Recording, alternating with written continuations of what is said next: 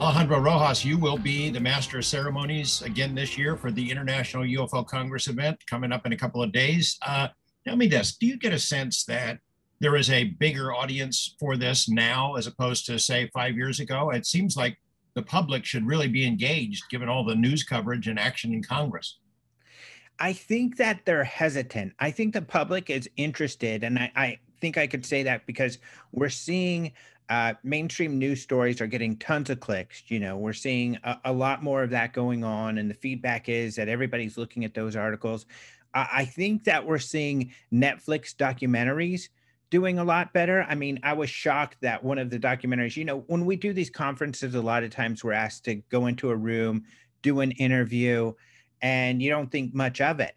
But one of these documentaries was like number four on Netflix just a few weeks ago and I've got all these people telling me, I'm seeing you on TV, I'm seeing you on TV. So it's definitely reaching a lot of people, all my neighbors, all my coworkers, uh, you know, talking about that. So I think people are watching stuff online kind of in a controlled environment where nobody needs to know that they're starting to get interested in this. So I think people are starting to dip their toes. We're not I I haven't seen any of the conferences really getting any major increase in attendees. But then again, we've had COVID going on for the last couple of years. So I think that's definitely a big factor. But uh, so I think that people are dipping their toes in, but they're doing it from the comfort of their homes in secret. You know, people are uh, impatient, of course. Those who are new to the topic think it's moving too slowly, whereas those of us like you have been around a long time are astonished at how fast it's changed, how much news there has been over the last couple of years. Uh, the UAP task force, of course, that's a gigantic story. It's been covered by all kinds of major media. You know, they put out a report that many found disappointing. I did not see it that way. I saw it as a major shift from what the Department of Defense has always said publicly about this. Where do you think that's going? Uh, the UAP task force hopefully will have a permanent home somewhere. Where do you think that's going?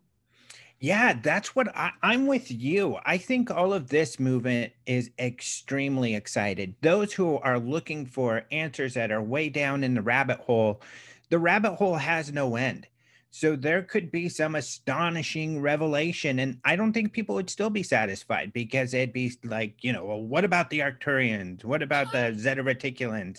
And and so I don't think there's any satisfying those type of people who really want the deep info. But like you're saying, right now is extremely exciting in that we have this UAP task force, um, mostly created to you know deal with this report that the Senate uh, Intelligence Committee asked for.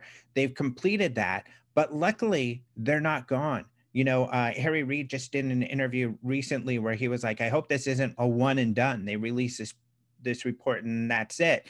And it doesn't look like that is the case. I mean, they were tasked with putting together uh, a, a, system of collecting and and centralizing this information to analyze it and it looks like that's what they're doing and an exciting part to that is that it looks like they're going to nasa they're going to space command they're going to the air force although uh, i think it was brian bender did an interview with uh, someone with the air force and they said they haven't asked us to do this. If they do ask us to do it we'll do it. But he's saying i don't see it as a major threat so i'm not sure it's it's something that we need to look into.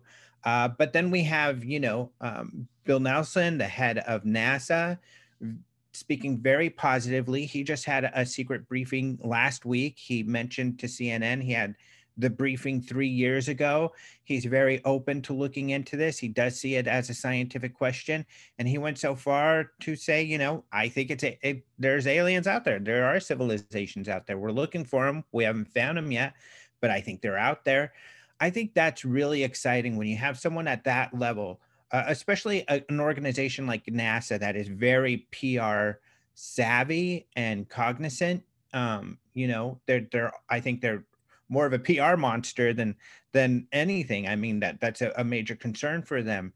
And when he's able to, in a conversation, when he's asked about UFOs, to go so far as to say to bring up aliens and say he believes they're out there, that's huge so I think it's really exciting to see where this all leads to. And, and like you, you know, I, I to me, this is all neck breaking speed. I mean, to go from just a few years ago, the revelation that this Pentagon program happened, having the Pentagon fight against it, even, you know, put out wrong information about Luis Elizondo, who came out about all of this.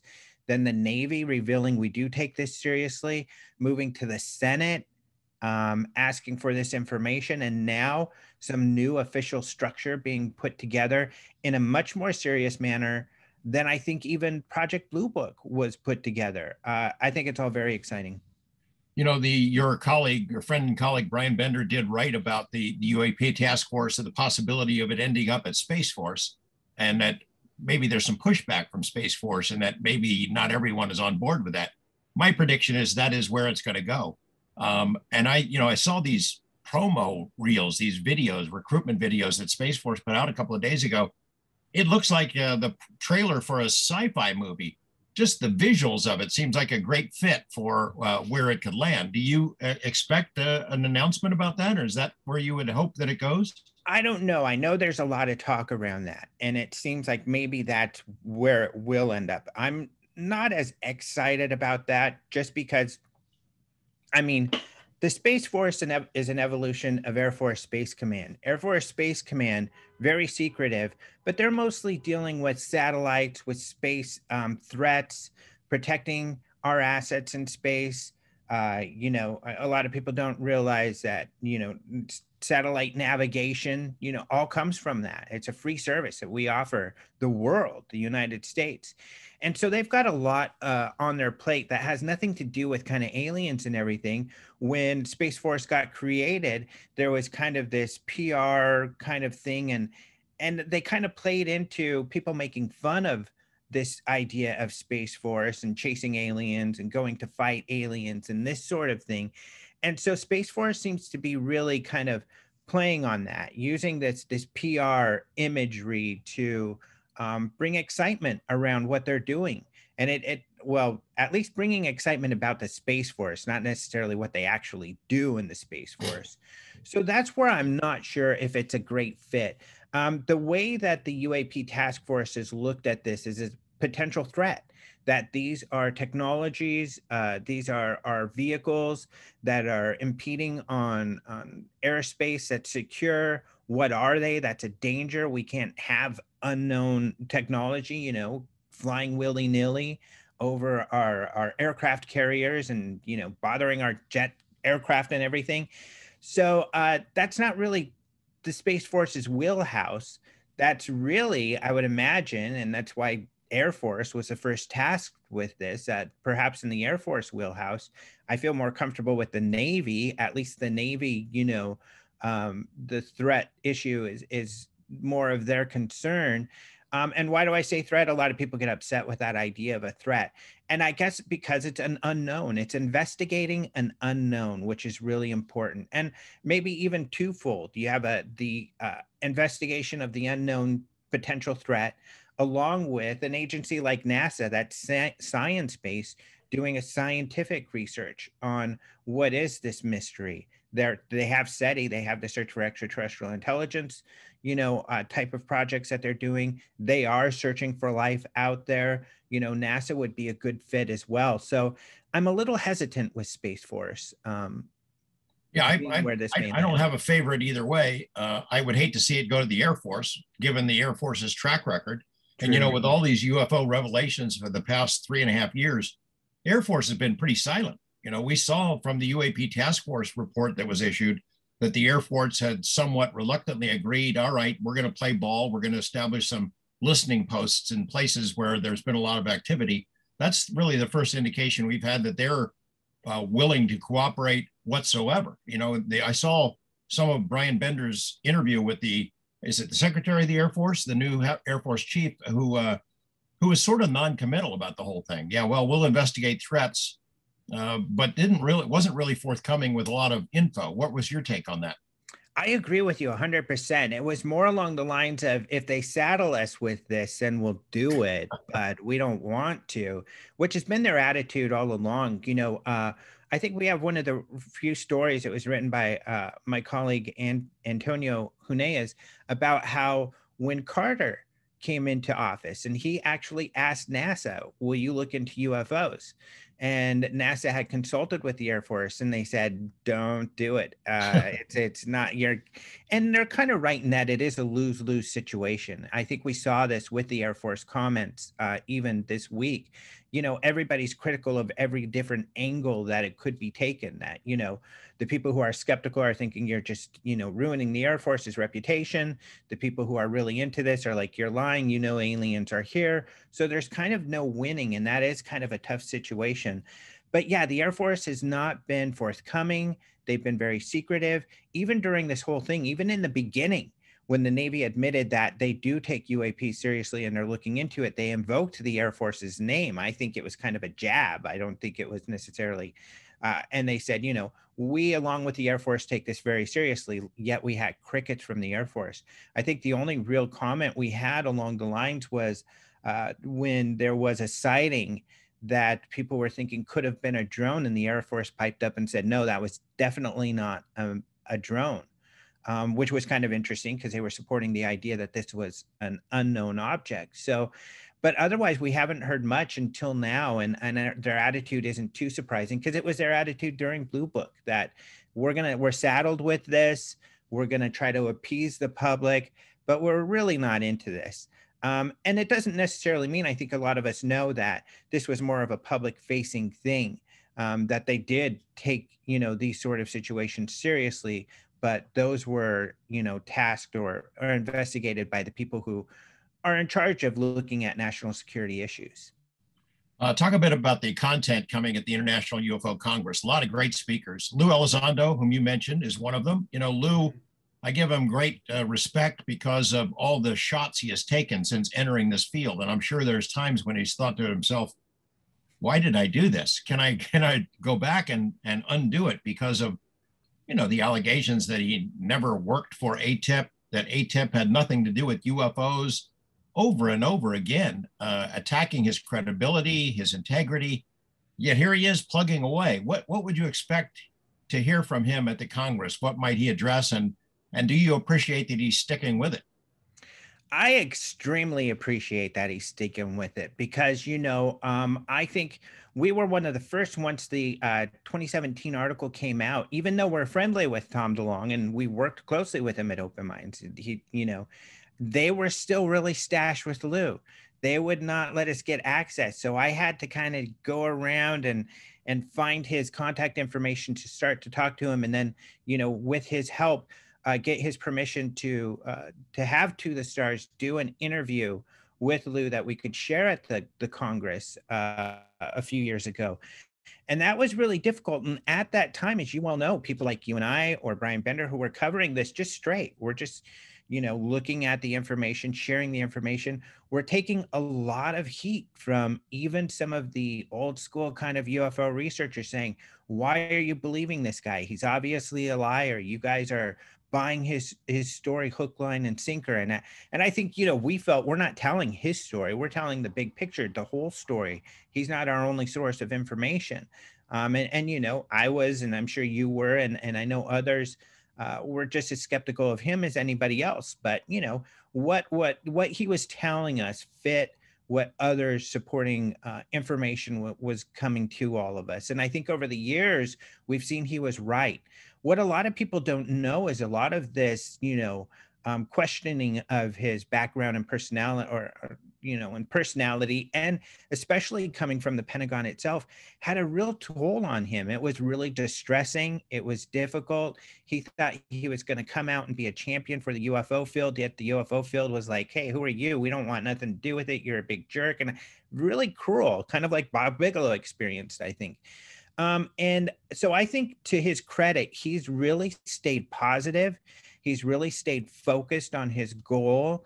And here we are years later where, you know, uh, he has really been um, justified and, or at least, you know, everybody knows that he has been accurate throughout the years and, uh, and that uh, he is the real deal. And I think that now everyone has a much more positive uh, at, outlook towards Lou um, he's reached out to even some of his biggest detractors to do interviews and try to come to the, some common ground.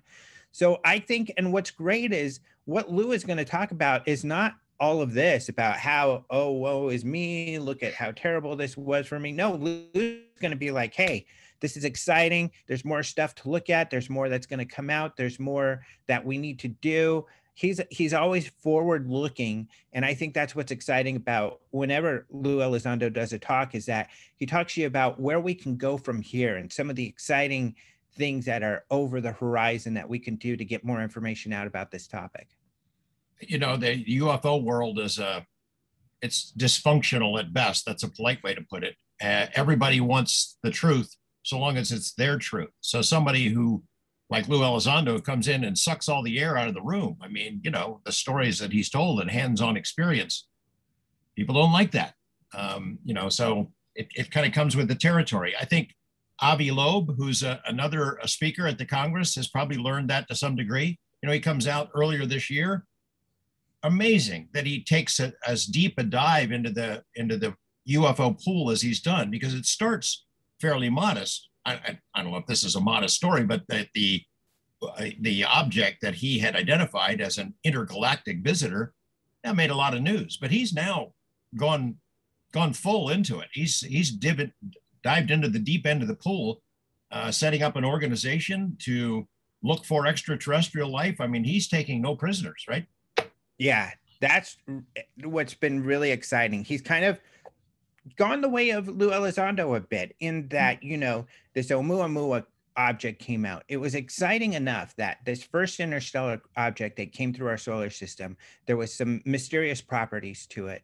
It was exciting enough that the first scientific paper that came out actually included the possibility maybe this is alien technology. And I think that's really important that we're seeing more and more of that with uh, astronomical mysteries out there, phenomena that are unexplained that they always put in there maybe it's aliens you know not saying for sure it is but at least being open to the idea because maybe it is Avi Loeb came forward, you know, towards the end of kind of all of all of this, when really kind of that original news cycle was over almost, and he came out saying, "I think it is alien. I think this is a probe that the, I can't find out any other explanation given the facts of of what we know about this object." Of course, that was highly controversial. I think people were like, yeah, he's just saying that maybe that's what it is. But no, he came on very strong. This is what I think it might be.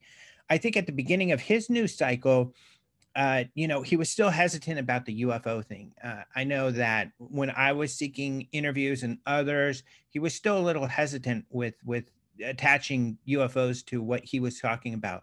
But fortunately, he came more and more comfortable with it. By the time I talked to him, kind of after that big news cycle was dying down, he was very open, which was exciting. And he stayed and remained open to looking at the more mysterious type of uh, aspects to all of this because I think he's seeing that, you know what, there was a blind spot. You know, the things that he's saying are very similar to things like Dr.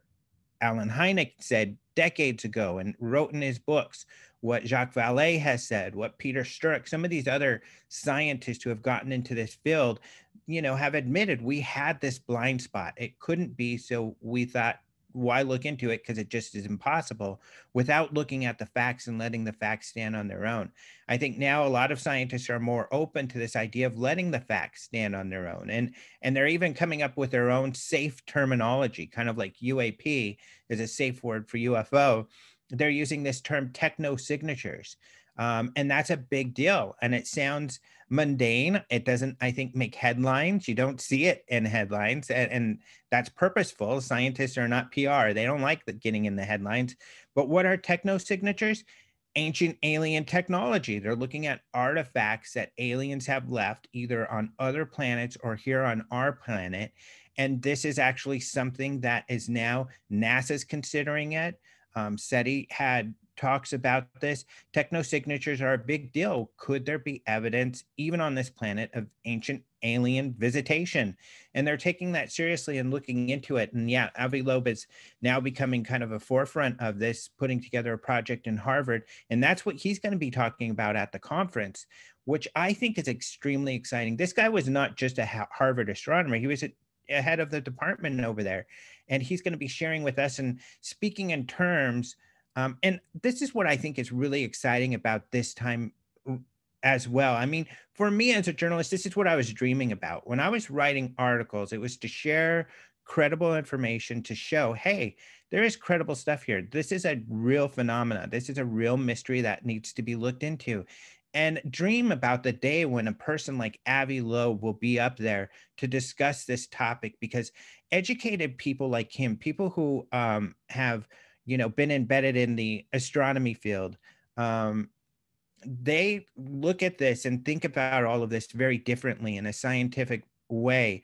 But when they analyze and compute you know the stuff that we've been looking at the way they look at it and share is to me extraordinary. The possible theories about the science how this all can be done is you know just the type of stuff that we haven't heard before which is extremely fascinating and what's great is that it really excites his colleagues other people in the scientific community to then pick up the gauntlet, whether they're skeptical or not, to see if there's something here. So yeah, yeah it's, it's a, amazing.